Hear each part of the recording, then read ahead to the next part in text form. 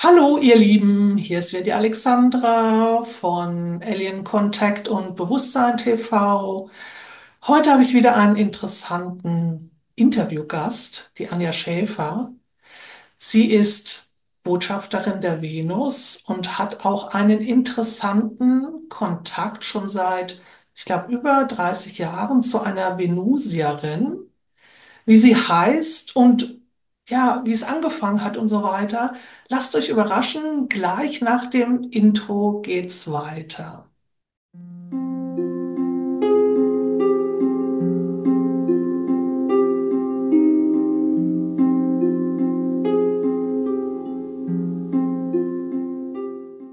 Liebe Anja, herzlich willkommen hier bei Bewusstsein TV.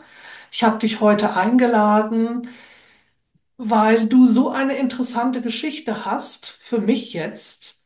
Und ich möchte das natürlich auch meinen Zuschauern zukommen lassen, weil die Geschichte so einmalig ist, wie ich jetzt finde. Wir sprechen aber auch über das Bewusstsein im Allgemeinen und wie das alles zusammenhängt und wie es bei dir angefangen hat. Und dazu möchte ich dann natürlich dich erstmal bitten, dich vorzustellen, weil meine Zuschauer kennen dich ja noch nicht. Bitte sei so gut und stell dich mal vor. Ja, Alexandra, vielen, vielen Dank erstmal für die Einladung. Ich bin auch sehr ähm, begeistert, dass ich jetzt heute mit dir zusammen sprechen darf. Wir haben uns ja noch nicht vorher kennengelernt, deswegen ist das jetzt alles total neu, auch ganz für mich frisch. Und ich freue mich sehr, ein wenig etwas, äh, ein wenig teilen zu dürfen über meine Geschichte und auch über die Ja. Venus-Kontakt. Personen und auch über die Spiritualität, die damit zusammenhängt, denn hier geht es weniger um die physische Venus, die Ja. spielt zwar auch eine Rolle, die ist natürlich da enthalten in dem ganzen Szenario. Es ist jetzt nicht irgendeine visionäre Venus, über die wir sprechen, sondern schon, äh, es geht schon um den Planeten Venus, unseren Nachbar- und Schwesterplaneten. Doch es ist schon so, meine Webseite heißt ja auch venusspirit.com und wie der Name sagt, es geht um die venusische Spiritualität bei mir schwerpunktmäßig.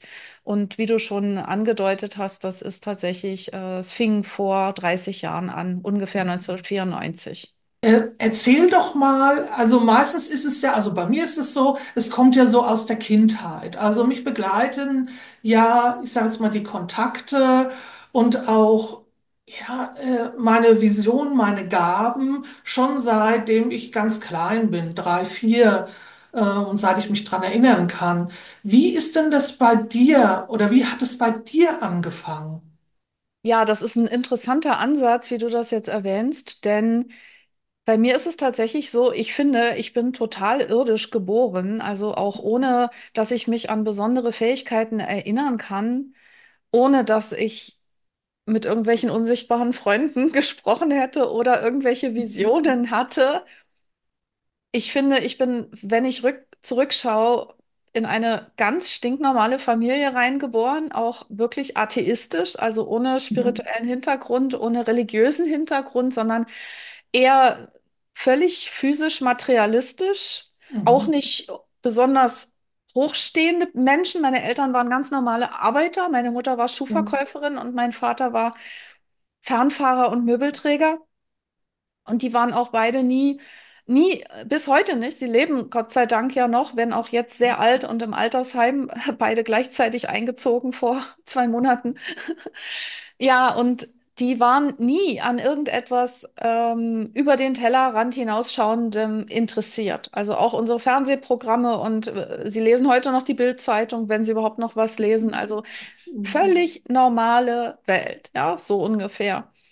Und das war genau der Hintergrund, den ich mir sozusagen als Seele ausgesucht habe, um möglichst äh, viel zu vermissen, möglichst viel ähm, Leere zu empfinden, Heimweh zu empfinden. Das ist das, wo ich mich am ehesten dran erinnern kann, dass ich schon damals ähm, im Bett meiner Eltern, wenn ich mich dann da mal irgendwie rein verkrümelt habe, so eine Sehnsucht hatte nach etwas Unerklärlichem, etwas, etwas Unbeschreiblichem. Ich habe mich so alleine gefühlt und so ein Heimweh empfunden. Das ist das Einzige, was ich weiß. Ich hatte eine unglaubliche Sehnsucht nach Zuhause. Mhm. Und Und mein, mein Anfang, mein richtiger Anfang war dann eigentlich wirklich, ich bin relativ schnell aus, auf den Pfad der unerwiderten Liebe äh, gestolpert. Das heißt, ich habe mich schon mit fünf oder sechs Jahren in den ersten Jungen in der Vorschule verliebt, unglücklich verliebt, der dann nach der, nach den Sommerferien mich nicht mehr angeguckt hat. Da ist mir schon das erste Mal das Herz gebrochen, weil ich das nicht Mhm. verstanden habe. Und so ging das dann irgendwie im, im, im, Minuten-, Monats-, Jahrestakt weiter. Ich, es ist wirklich, mein roter Faden ist tatsächlich die Suche nach Liebe. Ja, habe ich auch. Das kenne ich auch. Total. Das kann man wirklich fast so zusammenkürzen, ja, dass ich wirklich sagen kann, diese Sehnsucht, Mhm. die, die Liebe zu finden und dann aber auch Informationen zu finden. Also als Mhm. mein Verstand dann anfing, ein bisschen zu funktionieren und ich in die Pubertät kam, also so Mhm. mit 15 ungefähr, äh, hatte ich dann schon mehrere Herzbrüche hinter mir und, äh, und fing dann an, mich auf die Suche zu machen, auch im Hinblick drauf, was will ich beruflich mal machen und wohin geht mein Weg. Da Mhm. fing ich dann schon an, mich für Esoterik zu interessieren. Also Mhm. Ja. ja, ich bin ja, ich hatte nun den Vorteil für mich, den Vorteil, das Glück, dass ich in einer Großstadt geboren und aufgewachsen bin, also in West-Berlin. Mhm. Und äh, zu der Zeit gab es dann schon, gab es tatsächlich schon die ersten esoterischen Buchhandlungen und Bücher, Astrologiebücher und Tarotbücher und so, die gab es dann auch schon in ganz normalen Buchhandlungen irgendwie, ja. Und so fing das dann an, dass ich anfing, meinen Aszendenten auszurechnen, mich mit Tarotkarten zu beschäftigen, also schon so in die mystische Richtung Mhm.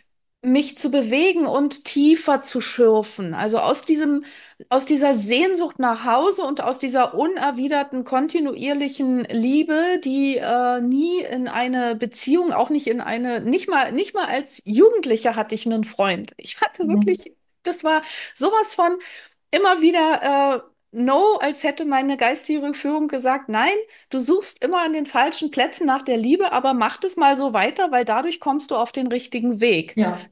Das Mhm. ist tatsächlich so dieser äh, Prall ab, aber dahin bounce, also so in Ja. den, dann, dann eben in die richtige Spur gefunden, sozusagen. Mhm. Und dann bin ich tatsächlich 1994, da war ich ungefähr vier, also da war ich 24, wenn es dann 94 war, aber ich nehme schon an. Denn Omnic Onyx,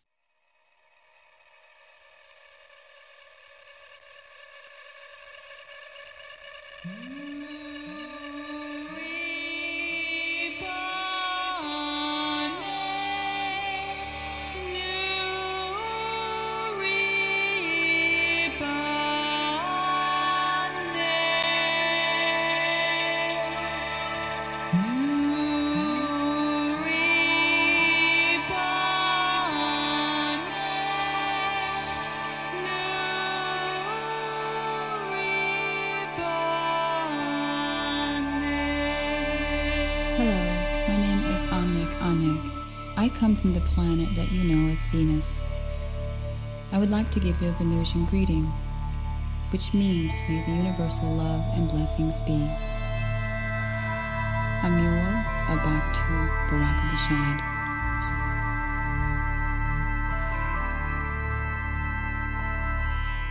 das ist die Frau, meine Mentorin, meine spirituelle Lehrerin von der Venus, die hat damals 1992, meine ich, oder 93 war sie das erste Mal in Deutschland und da ist dann ihr Buch auf Deutsch rausgekommen. Das war dieses Buch, was jetzt mit neuem Cover und völlig neu gemacht. Ich habe ja jetzt inzwischen die Rechte und gebe die Bücher selber raus. Damals war es natürlich in einem anderen Verlag erschienen mit anderem Cover und der Titel lautet Ich kam von der Venus. Und die Frau hat dann damals mithilfe von ihrem Verla ihrem Verleger und ihrem damaligen Manager, da ist die geführt worden, hatte auch einen Freund und die haben sie dann so ein bisschen in die Öffentlichkeit Mhm. gepusht und so kam die dann tatsächlich auch in manchen Zeitungen vor und aber auch in Talkshows. Und das ist dann der Punkt gewesen, wo das erste Mal der Erstkontakt war, dass ich sozusagen durch Zufall in einen Fernseh, de- den, in den Fernseher reingeschaltet habe. Und da saß sie und hat gerade ein Interview gegeben in irgendeiner Talkshow. Ilona Christensen oder Hans Meiser oder es waren so diese Talkshows damals. Mhm. Und da saß sie, ja, und äh, hat hat mich beeindruckt. Sie hat mich so beeindruckt, dass ich das Gefühl hatte, wow, da sitzt ein Mensch. Sowas habe ich noch nicht gesehen.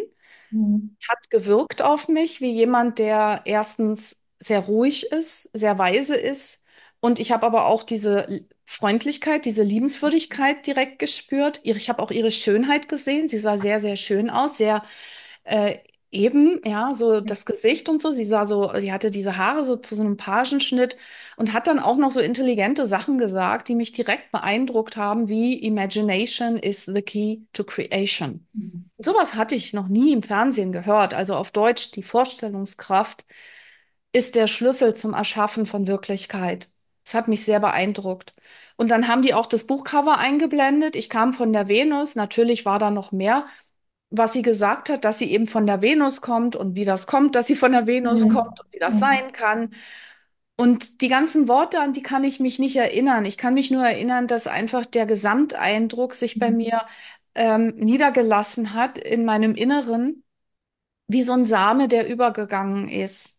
Und so war praktisch dieser Erstkontakt und der physische Kontakt kam dann zum ersten Mal ne, äh, drei, vier Jahre später, weil meine geistige Führung hat mich aus Berlin dann rausgeführt in eine Stadt in Bayern, wo ich selber einen esoterischen Buchladen aufgemacht hatte und mir damals sozusagen schon mal meine erste, äh, meinen ersten Wunsch erfüllt habe, so einen Seelenwunsch, weil ich habe einfach diese Esoterik und diese äh, spirituellen Lehren, die waren einfach mein Leben von Anfang an. Und deswegen hat sich dieser Wunsch formiert, selber so ein Geschäft zu haben.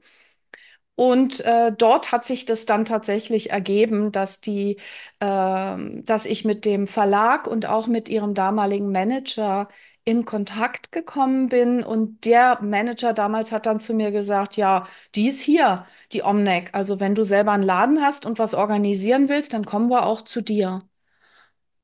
Und das war ein Wow damals für mich. Das war eine große Freude und ein, ähm, ein, ein Energieschub ohnegleichen. Ich habe mich wirklich extrem aktiviert gefühlt, weil ich hatte drei Wochen Zeit vom Gespräch bis zu dem Punkt, wo die beiden dann bei mir reingeflogen sind von Oh, Oldenburg nach Landshut. sehr sportlich. Das war sehr sportlich und ich hatte, da war ich dann schon in meiner, in, das, fast das erste Mal so aktiviert, dass ich gemerkt habe, was ich in so kurzer Zeit alles auf die Reihe kriege, wenn ich mich freue.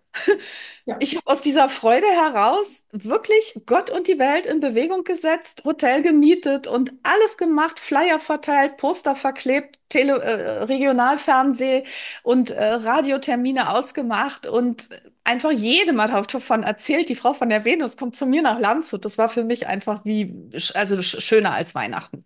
Also Mhm. unbeschreiblich. Ja, und so sind wir uns dann das erste Mal begegnet. Was eine Geschichte, finde ich total toll. Hast du dann, außer jetzt mal äh, der Spiritualität, mir ging das auch so, aber wir haben in einem ganz kleinen Ort gewohnt. Also ich bin nicht in einer Großstadt sozusagen aufgewachsen, in einer Kleinstadt, in einer wirklich kleinen Stadt in Unterfranken. Und da gab es auch zwei Buchhandlungen, die haben aber zueinander gehört. Da gab es, wie man das halt so kennt, nur eine ganz kleine Ecke was, ähm, ich sag mal, spirituelle Bücher anbelangt. Also gab es ganz wenig, kaum was. Erich von Däniken hat man da mal gefunden, mal gefunden. Ähm, dann hatten wir einen sozusagen äh, eine Weltladen. Ich glaube, das äh, sagt dir auch was, ne? Da, ja, da gab es äh, Räucherstäbchen und so weiter und so fort. Und da hat man dann mehr solche Bücher gefunden. Und dann kam unser Steinladen dazu. Der hat dann auch schöne Bücher gehabt, ausgewählte Bücher, was ihn natürlich auch interessiert hat, ähm, aber auch ja Astrologiebücher und ähm, in diesem Bereich. Und ähm, ich habe ja auch ein Buch geschrieben, 2006, was ich dann im Nachhinein auch im Selbstverlag rausgebracht habe, Die Träumerin, ich und mein anderes Ich. Da geht es ja um meine Vision, die ich immer habe, schon seit meiner Kindheit, also Visionsträume. Da war das für mich ganz schwierig, das Buch, weil es ja was Besonderes war, in unsere kleine Buchhandlung zu bringen. Die wollten das erst nicht. Ne, das ist halt total schwierig. Das wäre ein super Kontakt zu dir damals gewesen. Ich glaube, da hättest du dich eher dann auch äh, dafür interessiert, aber das war weit raus. Da denkt man gar nicht an München oder Landshut oder irgend äh, in diese Richtung an Großstädte. Äh, so habe ich dann immer eben auch durch Lesung, ich habe mich dann eben angeboten, habe mir das selbst äh, drucken lassen. Damals ging das dann, war gerade im Selbstverlag, äh, konnte man das eben dann auch in Digitaldruckverfahren drucken, in, auf, in kleiner Auflage. Und so bin ich dann halt auch zu, von Buchhandlung zu Buchhandlung äh, getingelt mit meinen Büchern und habe da auch Lesungen gehalten. Deswegen kann ich das total verstehen. Also auch von der anderen Seite her, ich sage jetzt mal als Autorin mit einem Buch, jetzt in der Buchhandlung eine Lesung halten zu dürfen. Und das war äh, mit Sicherheit für dich ganz, ganz toll, dass du äh, die Omnik Onik dort bei dir hast dann begrüßen dürfen in deinem, in deinem Laden. Und wie ist denn der Kontakt denn da abgelaufen? Also, ich, ja, sie war ja, ist ja Amerikanerin, ne? Ja, sie ist Amerikanerin. Also nach Pass ist sie Amerikanerin tatsächlich. Mhm. Ja, der Kontakt war ähm, am Anfang für mich überwältigend. Ich Mhm. war wirklich sehr, sehr aus dem Häuschen. Ich war sehr nervös. Warum? Warum weiß ich nicht. Äh, das war die Energie, das war die Ja. Freude, die Begeisterung, ja. Ich meine, ich hatte ja dann auch schon ihr Buch gelesen zu der Zeit, also bevor es zum physischen Besuch kam. Also äh, das, das kommt ja noch davor, dass ich also dann, als ich den Buchladen aufgemacht habe, habe ich ja für mich persönlich erst ihr Buch bestellt und da habe ich es dann erst gelesen Mhm. und dann habe ich das zweite gleich hinterher gelesen, was damals rauskam. Das war das Handbuch venusischer Spiritualität. Mhm. Und dann war ich so abgefüllt mit dieser Begeisterung von dieser Geschichte, von dieser Frau, von dieser Venus-Geschichte, Mhm. äh, dass ich daraufhin dann den Kontakt mit dem Verlag und mit dem Manager aufgenommen habe. Ich war also sozusagen geflasht, fast wie von einer Prominenz, die Mhm. ich dann die Ehre hatte, sozusagen persönlich kennenzulernen. Also ich hatte damals schon dieses Gefühl von, wow, da passiert was ganz Großes, ja. Mhm. Deswegen war der erste Kontakt tatsächlich sehr, sehr super aufregend. Und wenn ich mich richtig erinnere, war es auch beim ersten Mal, wo Omnek typisch venusisch viel zu spät kam. Ich meine, das war beim ersten Mal, wo die Leute dann, glaube ich, ein oder anderthalb Stunden gesessen haben in diesem Vortragsraum im Oh. Hotel und gewartet haben. Mhm. Und das war für mich so stressig, dass Ja, ich, das ich und ich hatte noch so viel Angst, selber zu sprechen. Heute Mhm. veranstalte ich Konferenzen und stehe Mhm. vor Hunderten von Leuten und bin dabei tiefenentspannt, weil ich durch einen riesen Prozess gegangen bin in den letzten Jahrzehnten, ja, Mhm. der Selbstfindung und Selbstverwirklichung, Mhm. alles dank Omnek letztlich. Und damals war ich aber noch so klein und so unsicher und schüchtern. Ich konnte mich nicht mal vor diese 80, ich meine, das waren tatsächlich trotzdem 80 Leute, die ich geschafft habe, dahin Ja, zu kriegen. ja. Und ich habe mich nicht mal getraut, mich hinzustellen und zu sagen, es tut mir leid, die Omnic verspätet sich. Da hatten wir, glaube ich, auch noch kein Handy und so weiter, ja. Ja, Vielleicht haben die mal von irgendeiner Tankstelle angerufen oder so und die hatten natürlich auch wirklich ganz Deutschland zu durchqueren. Mhm. Aber Omnic war noch nie ein Frühmensch. Das heißt, die sind einfach zu spät losgefahren, sind durch ganz Deutschland gefahren, sind viel zu Oh. spät angekommen. Und für mich war das ein, eine einzige Katastrophe. Also Mhm. emotional und vom Stress und von den Nerven her, ich war einfach völlig fertig. Mhm. Und aber ich kann es auch wirklich von Erinnerung her nicht mehr genau. Ich habe nur noch Bilder in Erinnerung. Ich kann noch dieses Gefühl, kann ich mich noch dran erinnern. Und ich kann mich noch erinnern, dass sie ähm, dass sie mit dem Mercedes angekommen sind und es ist aber ein anderes Bild. Vielleicht war das zu einem anderen Zeitpunkt und das Erste, was sie dann sagte, war, dass sie irgendwie auf die Toilette muss. Und das war für mich Mhm. schon so, oh, weia, die Frau von der Venus muss auf die Toilette. Ich war noch so klein, weißt du, so, also, weißt du, so energetisch war ich noch so ein kleines Mädchen, irgendwie so. Das war alles, alles überwältigend. Und die sah so schick aus mit ihren hohen Stiefeln und so Mhm. eine Hacken und weiß gekleidet. Die hat mich einfach nur weggehauen durch Beeindruckung. Mhm. Der Ruhe ist erst eingekehrt, weil, als die wiedergekommen sind. Also Mhm. die, die, mehr Erinnerung habe ich an den ersten Kontakt, an die erste Begegnung überhaupt nicht, weil ich war viel zu aufgeregt. ja. Mhm. Aber dadurch, dass auch Omnic irgendwas wahrgenommen hat und dass es ja doch relativ erfolgreich war und sie hat halt irgendwo wahrscheinlich auch gespürt, mit der Anja ist irgendwas. Mhm. Und so hat es sich relativ bald ergeben, dass die beiden entschieden haben, wir gehen da nochmal hin. Und dann sind die ein halbes Jahr später ungefähr wiedergekommen, Omnic und Mhm. der Wolf. Also der Wolf war damals ihr Manager und ihr Übersetzer und auch der Musikproduzent, dank dem ja diese tollen CDs auch entstanden sind, die Meditations-CD und so. Und beim zweiten Mal dann ist dann ein bisschen Vertrautheit und Ruhe eingekehrt. Das heißt, ich hatte ein halbes Jahr Zeit, um das Ganze ein bisschen zu verarbeiten. Und als die dann wiedergekommen sind, war es schon ein bisschen normaler. Und da ist dann das Besondere passiert, also das äh, zwei Besonderheiten eigentlich. Das eine war, dass wir einen kleinen Workshop hatten in meinem Laden. Also ich hatte einen relativ schönen, recht großen Laden, also zumindest für zwölf Stühle im Kreis war Platz, dass wir einen kleinen Workshop halten konnten. Und ich kann mich da, da habe ich wieder eine emotionale und auch eine visuelle Erinnerung dran, dass wir da zusammen saßen und dann kehrte bei mir endlich eine gewisse Ruhe ein. Mhm. Und ich habe mich mal hingelehnt, in, innerlich so zurückgelehnt und, und habe nur wahrgenommen und ich habe ihr zugehört. Die Omni konnte ja stundenlang sprechen. Die hat ja ihre ganze Geschichte erzählt. Die hat über die Transformation der Erde gesprochen. Die hat so viel erzählt. Die hat über die Reise der Seelen gesprochen. Das ist auch dieses Bild, was im Hintergrund ist. Diese spirituelle Lehre über die Gottwelten und die Ebenen des Bewusstseins. Da können wir auch noch vielleicht ein bisschen drauf Ja, gerne. sprechen kommen, also was eben die spirituelle Lehre betrifft. Und das hat die halt alles mit einer tiefen Entspanntheit erzählt. Und da konnte ich mich dann endlich mal ein bisschen entspannen. Und dann gab es so einen Moment, wo unsere Blicke sich trafen. Mhm. Und da ist eine Energieübertragung Mhm. passiert. Also ihre Blicke, meine Blicke, und das ist mir dann ins Herz gegangen. Mhm. Und da ist mir mein Herz aufgegangen. Da habe ich dann das erste Mal Liebe gespürt. Mhm. Ich habe gespürt, was Liebe ist. Mhm. Bedingungslose göttliche Liebe. Und das kannte ich zu diesem Zeitpunkt in diesem Leben noch nicht. Mhm. Ja, verstehe Es war ich. ja keine persönliche Liebe. Es war ja nicht so, Mhm. dass Omnic und ich auf einmal hier irgendwie, irgendwie ein Techtelmechtel angefangen hätten oder so, sondern es war einfach diese göttliche Liebe, Mhm. die mich ausgedehnt hat. Die hat mich wie in einen Kokon gepackt. Ich habe mich gefühlt wie in einer Blase, in einer rosaroten Kugel oder sowas oder wie in so einer grünen Kugel, so mit so einem 360 Grad Rundumblick.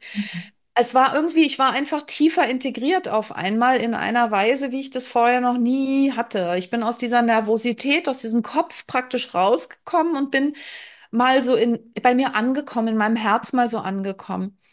Und das Besondere oder noch eben das, was das Ganze dann eben noch, glaube ich, auch für Omnic wichtig gemacht hat und abgerundet war, hat, war, dass ich es dann auch erzählt habe. Also bei einer, bei einem Sharing, wir hatten dann auch so ein bisschen so, jeder hat erzählt, wie es ihm geht und was er denkt, ja. Mhm. Und da habe ich das dann gesagt. Und ich kann mich noch gut erinnern, dass Omnic mich angeschaut hat und dass sie beeindruckt war und dankbar war, dass ich es ausgesprochen habe, dass ich diese Liebe gespürt habe. Das gab ihr ja einerseits eine Bestätigung, dass sie ohne bewusst jemanden anzuschauen so etwas auslöst. Das weiß sie ja auch nicht. Das war ja nicht geplant. Mhm. Und es hat ihr gewiss auch auf einer gewissen Ebene diese, diese Bestätigung gegeben, dass mit mir die Reise weitergeht. Das ist nicht da Mhm. dann zu Ende gewesen. Und das war dann auch so. Wir sind auch nach diesem Wochenende, nach diesem Vortrag und Workshop dann auch privat geworden. Ich habe sie dann gefragt, ob sie noch ein bisschen bleiben möchte. Wulf ist dann tatsächlich alleine zurückgefahren nach Oldenburg und damals war sie noch äh, bereit, sich auch auf so ein Abenteuer wie Zugfahren einzulassen, was sie wirklich nicht gerne gemacht hat. Aber das hat sie damals noch gemacht, dass sie dann gesagt hat, ja, okay, sie bleibt. Noch ein bisschen da und da sind wir dann privat geworden. Wir sind zusammen auf ein Konzert gefahren und sie hat dann bei mir gewohnt und so sind wir dann persönlich äh, in einen, in einen Austausch gekommen und dann ist das Ganze äh, immer intensiver und immer freundschaftlicher und immer enger geworden, bis ich dann irgendwann selber in der Rolle war, sie zu übersetzen und, und, und. Also so hat die ganze Reise dann praktisch ihren Fortlauf genommen. Also mich würde jetzt mal interessieren, wir reden ja die ganze Zeit von dieser interessanten Frau. Vielleicht kannst du mal ein bisschen über sie erzählen oder von ihr erzählen. Ja, also für diejenigen, die das hören und die das interessant finden und die äh, das noch nicht kennen, also die Geschichte von Omnic ist so speziell und einzigartig, wie sie meines Wissens nach, und ich bin ja nun, wie du weißt, jetzt seit über 30 Jahren mit dieser Geschichte vertraut, Mhm. bisher ist mir nichts begegnet, was dem vergleichbar ist. Also es scheint, als sei ihre Geschichte tatsächlich auch weltweit einzigartig. Mhm. Denn was sie eben so äh, ungewöhnlich macht, ist, dass sie von sich selbst behauptet, ich kann es ja nicht anders sagen, ich war Ja, nicht dabei, ich habe das ja nicht genau. bezeugt, Mhm. aber ich kenne halt ihr Buch und ich kenne sie und ich kenne ich kenne sie einfach, ja. Und äh, deswegen,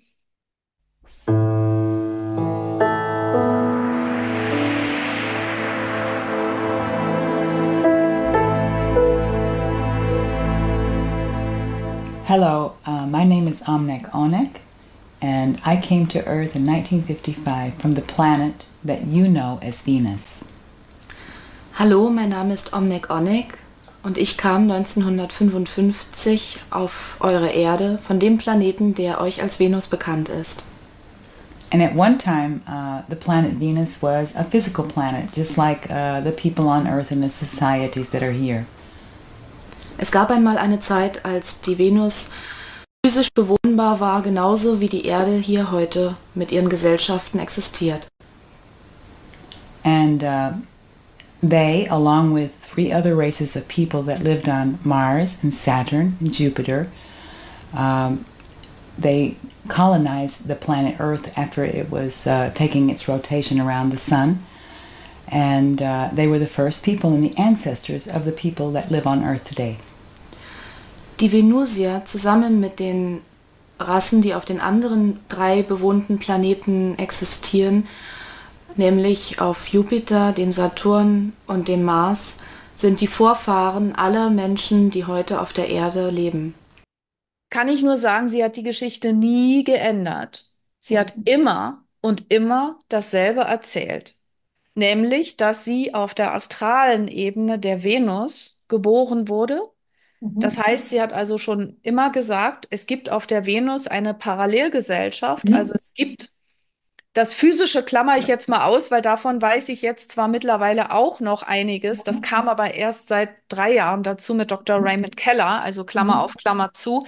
Mhm. Von Omnic 25 Jahre lang wusste ich nur, dass es auf der feinstofflichen Ebene der Venus eine Gesellschaft gibt, die früher mal physisch war und die aber zu einem bestimmten Zeitpunkt die Schwingungsfrequenz angehoben hat Mhm. und deswegen wie eine, wie ein Duplikat des Physischen, aber in einer feinstofflichen Dimension existiert. Mhm. Die Gesetzmäßigkeiten sind andere, weil die Astralebene eine feinstoffliche Ja, Dimension ist, die mit physischen Wahrnehmungen und Sinnen natürlich nicht sichtbar ist und deswegen ja, auch nicht äh, mit dem Teleskop gefunden werden kann oder beweisbar ist. Ja, es ist wie die Geisterwelt auf der Erde, wo man halt weiß, ja, Menschen sehen in andere Dimensionen rein oder haben Erscheinungen. Das ist ja, einfach eine andere Frequenz die in einer feineren Dichte schwingt, wo auch die Gesetzmäßigkeiten der Manifestation viel schneller sind als im physischen. Wenn dort also jemand mit Gedankenkraft sich äh, etwas vorstellt, wie eine Tasse oder wie ein Springbrunnen in der Wohnung oder wie äh, sich teleportieren will von A nach B, dann geht das durch einen Augenblick, weil die Reisen und die Manifestation über die Gedankenkraft geht, mhm. die eben gemeistert haben. Das haben sie also schon als physische Gesellschaft gemeistert, jeder für sich individuell. Das ist ja genau das, wovon wir lernen können, weil wir auf Ja, der Erde sind jetzt in diesem Prozess ebenfalls der Meisterung und der Erinnerung, dass wir Schöpferwesen sind. ja, Die Venusier sind praktisch unsere Vorfahren, Teile unserer Vorfahren und sowas wie Nachhilfelehrer, weil sie das schon erlebt haben, diesen Aufstieg in eine höhere Schwingungsfrequenz, den wir gerade als Menschheit auf der Erde erfahren. Das ist eigentlich ein Grund, warum Omnic überhaupt da ist. Ein Grund. Es gibt viele Gründe. Nun sagt sie, und so erklärt sie das auch in ihrem Buch, dass sie auf dieser Astralebene geboren wurde. Die ganzen Gesetzmäßigkeiten auch der Partnerschaften, der Schwangerschaften, der Geburten sind natürlich anders. Das beschreibt sie alles in ihrem Buch, wie das genau funktioniert. Und dass sie eben als siebenjähriges Kind, also in venusischer Zeitrechnung, war sie bereits 130 oder 150 Jahre alt, weil die Zeit geht ja in einer höheren Schwingungsfrequenz langsamer. Mhm. Deswegen ist das da ganz anders. Da können die Menschen auch oder die Wesen, wie du sie nennen willst, auch Hunderte oder Tausende von Jahren ja, alt werden. Und sie meinte oder sie sagte, dass sie ähm, noch Karma mit der Erde gehabt hat und dass sie deswegen sowieso eines Tages nochmal in eine irdische Verkörperung hätte zurückgehen müssen, in Anführungszeichen. Das ist immer freiwillig, aber aus ja. dem Ausgleichsbedürfnis der Seelen heraus. Mhm. Sie erklärt es so, dass sie noch eine Schuld hatte, etwas noch äh, auszugleichen hatte mit einem anderen Mädchen. Und dieses andere Mädchen war zu dem Zeitpunkt auf der Erde inkarniert. Mhm. Die ganze Sache ist wirklich nicht einfach zu verstehen. Ähm, manche Menschen müssen sie mehrmals hören und es ist auch oft hilfreich, das Buch tatsächlich zu lesen, um sich das mal ganz in Ruhe zu Gemüte zu führen, weil es so ungewöhnlich ist. Ja, aber um es kurz zu machen, sie hatte dann die äh, die Empfehlung bekommen von den spirituellen Meistern auf der Venus und auch das Angebot bekommen, dass sie sich einen physischen Körper manifestieren kann auf der Venus, dass sie auf die Erde gebracht wird, dass sie dann durch dieses von diesem anderen Mädchen, dass da ein Austausch stattfindet, ein physischer Austausch, Mhm. kein Seelenaustausch, kein Walk-in, sondern ein physischer Austausch. Mhm. Und dass sie so praktisch in die Erdgesellschaften reingeschmuggelt werden könnte. Erstens, um ihr Karma fertig zu, auszulösen, Mhm. um als Experiment zu dienen, ob sie als Astralwesen auf der physischen Erde in diesem niederen Bewusstseinszustand überleben würde und wie sie es überleben würde.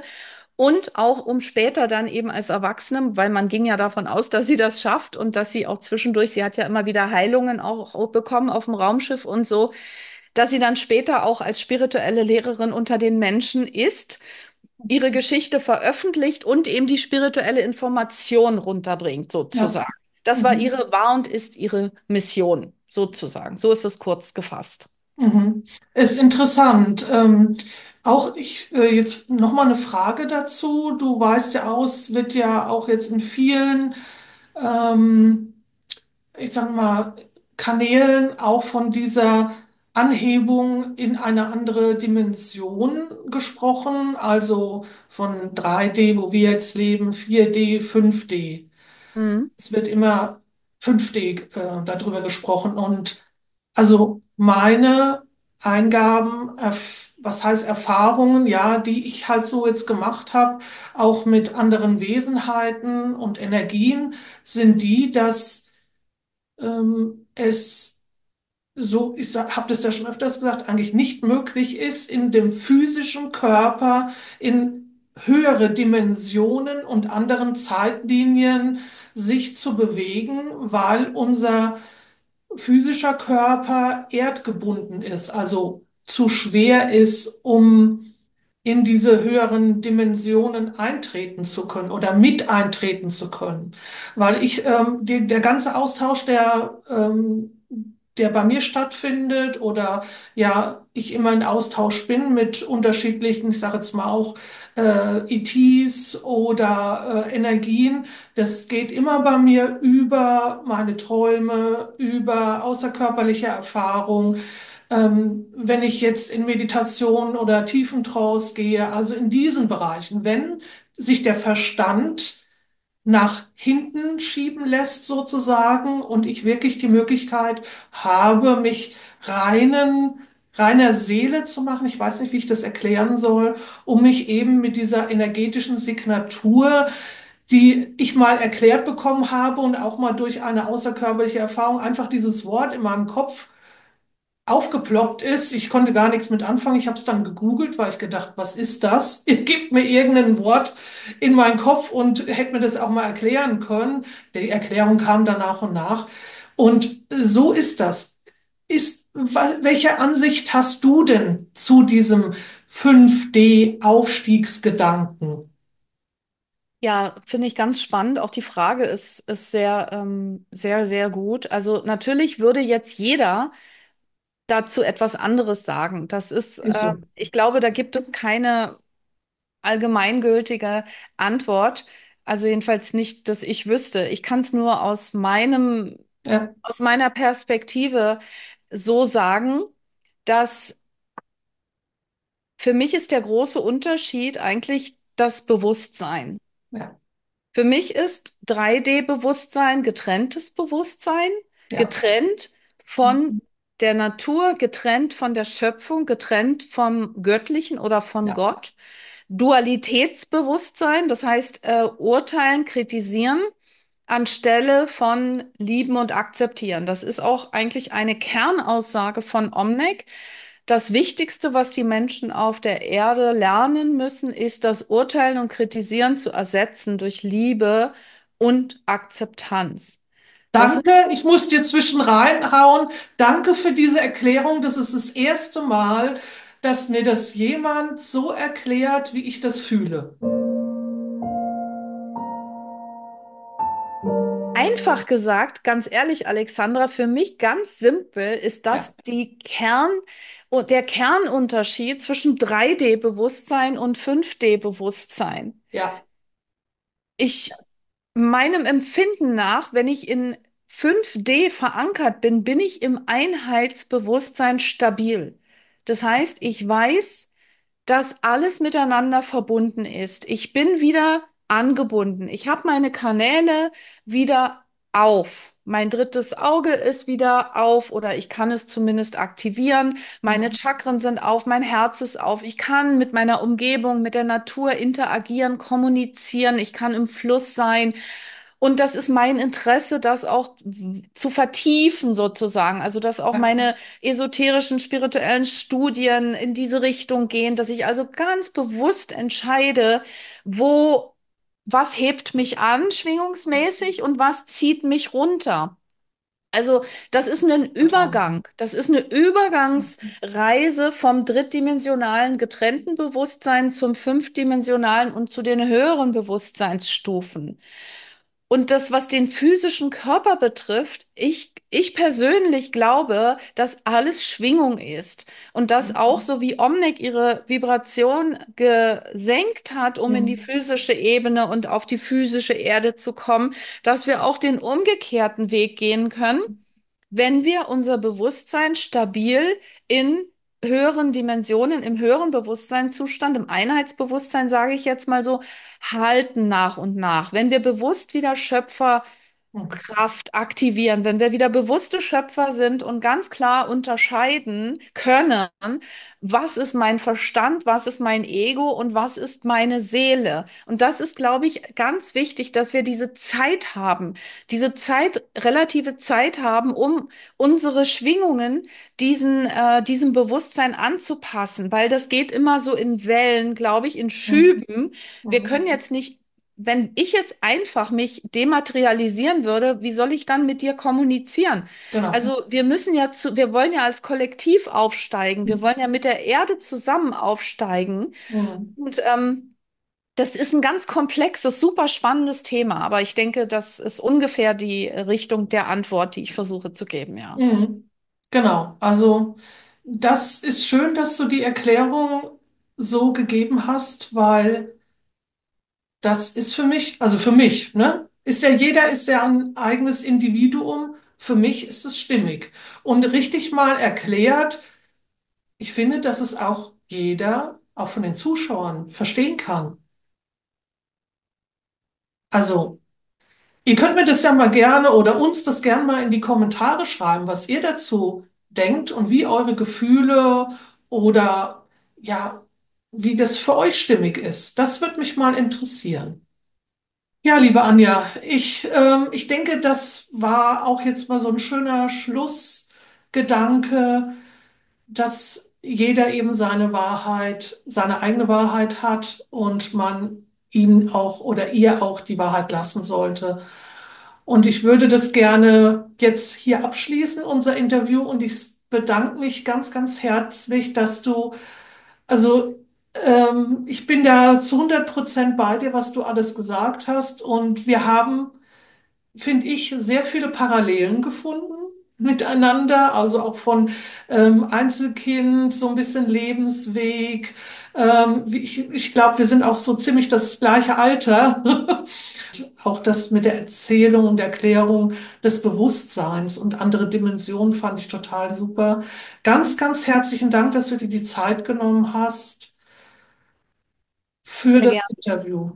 Sehr gerne. Ich danke dir, Alexandra, für die Einladung und fürs Gespräch. Vielen Dank. Vielen lieben Dank, dass ihr heute dabei gewesen seid. Ihr Lieben, ab sofort gibt es die kompletten Videos nur für Mitglieder. Das bedeutet, dass ihr die vollständigen Versionen meiner Videos, Bonusmaterial und viele weitere exklusive Inhalte nur mit einem Premium-Abo sehen könnt. Ich habe mich dazu entschieden, weil ich euch noch mehr Inhalte bieten möchte und um meine Arbeit zu unterstützen. Ich bin sicher, dass euch die zusätzlichen Inhalte gefallen werden.